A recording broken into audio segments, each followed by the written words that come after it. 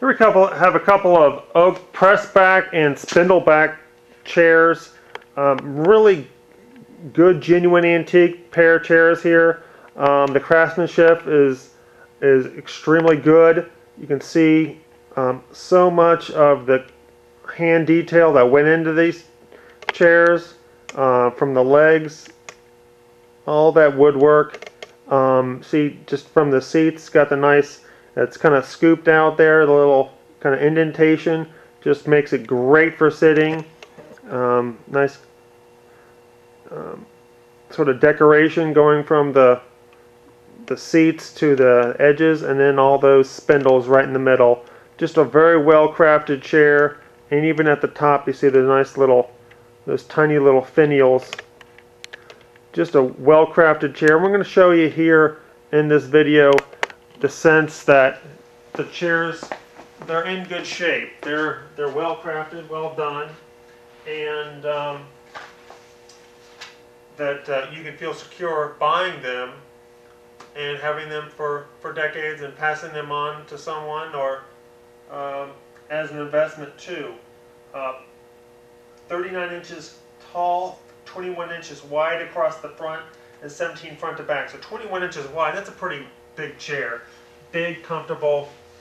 You know, if you happen to be a, a person of taller stature or someone, uh, you know, of a heavier build too, don't worry, these chairs are fine.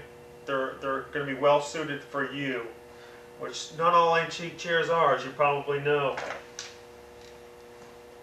So, see the attachment everywhere here. Um, now, there is definitely this thing going on with this particular attachment here, so it's a little bit more decoration than functional. But this side here holds it okay. And these are just more secondary than anything else. Um, there is a little, there is some wear along um, this section of the edge here. Looks like it might have been, um, but there's some there's some marks along the wood there. So make sure you know that. Um, by no means perfect chairs, but they're definitely genuine antiques. Um, little bit of the there there's there is some cracking um, in the wood. It's um, it's showing a little bit of the that's drying out a bit.